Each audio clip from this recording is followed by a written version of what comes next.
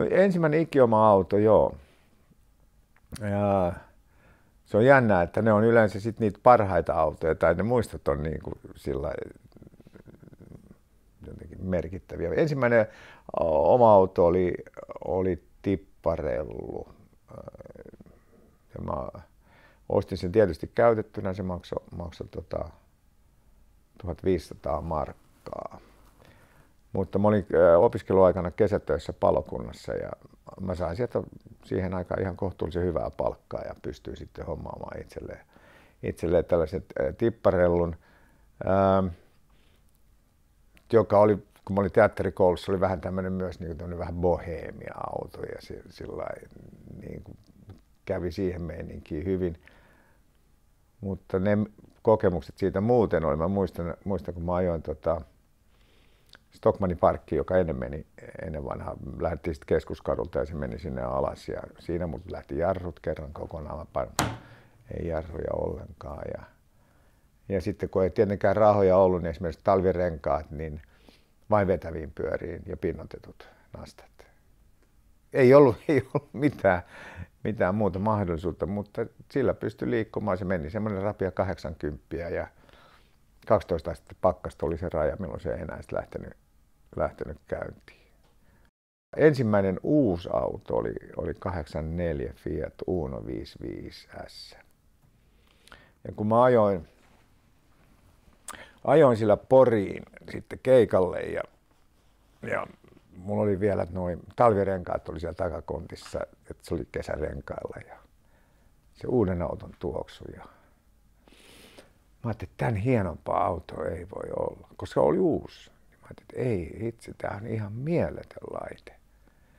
Ja siihen liittyy vielä sitten semmoinen, semmoinen, että mä ajoin siis Poriin ja sitten samaan aikaan syntyi vaimo sitten soitti sinne Poriin, että nyt hän lähtee laitokselle, että rupesi hiipi, hiipi takaisin Porista ja mä lähdin yöllä sitten ajamaan Porista mm, Jorviin, niin niin oli niin sakea sumu, että se, se matka kesti kahdeksan tuntia.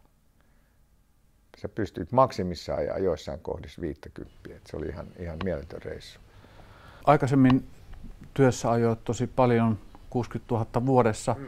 Miten tänä päivänä, minkä verran ajat ja millaisena kuskina pidät itseäsi? Pyrin ajamaan aina nopeusrajoitusten mukaisesti. Ja, ja tota, maltilla. Liikennehän on sellainen, että siellähän tunteita koetellaan kyllä ja se on varsinkin kaupunkiliikenteessä, että sä, sä, autoilija, jos kuka, niin pitää omista oikeuksistaan huolen, että, että, että kun tämä on mun oikeus, niin mä en anna, joka on vähän tämmöinen kyllä sitten suomalaisen liikenteen tukkokin myös, että, että jos sä haluat päästä johonkin väliin, niin ei, ei sitä väliä niin tunnuta antavan. Niin, koitan noudattaa nopeus, nopeusrajoituksia niin kuin kuuluukin. Ja enkä voi sanoa, että sakot on niin absurdeja, että niitä ei pysty tai että ei voi maksaa, tai ei voi niin kuin, sen takia Suomessa ei pysty ajamaan autoa, kun sakot on niin kovia. Ne on kovia kyllä, tietysti kun tulojen mukaan rapsastaa, mutta ne on tulojen mukaan, että ne on kaikille siis yhtä, yhtä lailla. Ja pyrin, pyrin arvostamaan ja kunnioittamaan muita tiellä liikkujia ja yksi semmoinen iso asia on, että koittaa pitää väliä siihen edessä ajavaan autoon. Se on, se on mun mielestä semmoinen, mikä vanhemmiten on tullut, että, että matka edessä olevaa autoa pyritään pitämään. Ja, ja, ja sitten jos välillä siihen tulee se take a break, niin, niin sitten voidaan vähän, vähän levätäkin. Mä oon myös kokenut sen ajan, jolloin ei ollut nopeusrajoituksia. Ja ja tota, ja se oli, se oli mulla niin moottoripyöräaikaa. Et silloin tietysti sä sait tiellä ajaa niin paljon kuin vehkeet, vehkeet kulki. Silloin kun mä itse sain ajokortin, niin silloin oli, tuli 80 lätkä. Ja, ja tota, silloin se tuntui ihan karmeelta, että on 80 lätkä, mutta nyt tietysti ymmärtää sen, että siihen kohtaan se on oikein hyvä, että ajetaan, ajetaan, tota, ajetaan aluksi vähän varovaisemmin nuorella miehellä. Se nuoren miehen semmoinen niin pelottomuus, tai se ei ole edes pelottomuutta, vaan se on se, että ei, voi mitään, ei nuorelle voi mitään sattua, että se lasketaan vähän, vähän sellaiseksi.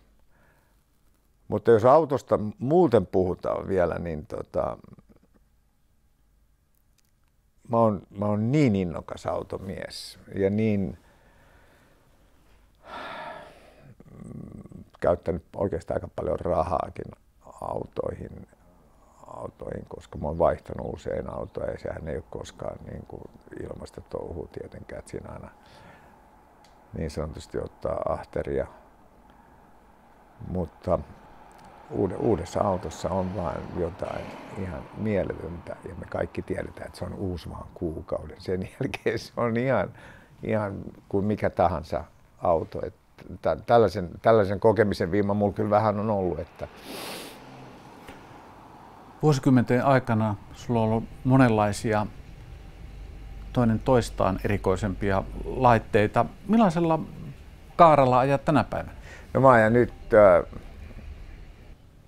Mulla on tota, parikin autoa. Mulla on semmoinen 2010 öö, Golfi 18T, jos jollekin sitten jotain sanoo. Ja sitten mulla on tämmöinen GLC 350 plug-in hybrid, joka on nyt sitten viime vuoden mallia oleva, oleva auto. Ja nämä on vähän eri tarkoitus, nämä on vähän eri tarkoituksia olevia autoja, koska tietysti vaimo ajaa toisella ja mä ajan toisella.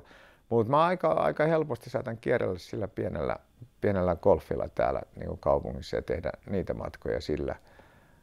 Mutta sitten kun matka pitenee, niin kyllä on, kyllä on tota, nyt tässä pitää sanoa sit vaan niin ihan reilusti nimikin, niin kyllä Mersulla on aika, aika hyvä ajella. Ja se on, se on vaan jännä, kun tämä auto Suomessa on myöskin sellainen, se on pikkusen arka paikkakin, että, että joitakin toisia merkkejä hyväksytään noin yleisemmin helpommin kuin joitain toisia merkkejä. Ja,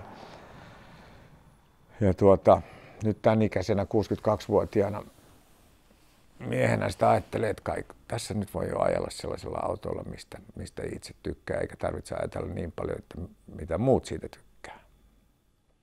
Se on sellainen, että siihen on mennyt muuten aika pitkä matka, että pääsee sellaiseen ajatukseen, ainakin mulla.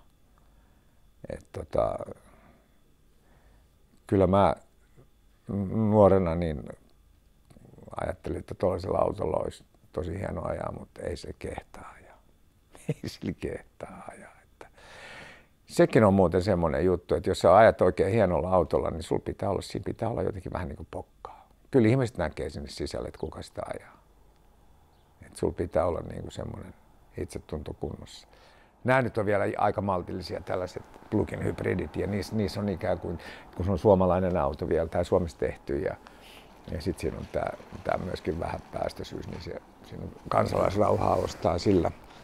Mutta tuossa kun sä laskettelet jollain Ferrarilla, niin niin tota, kyllä sul vähän pokkaa pitää olla siinä. Mun puolesta, anna mennä vaan, kyllä.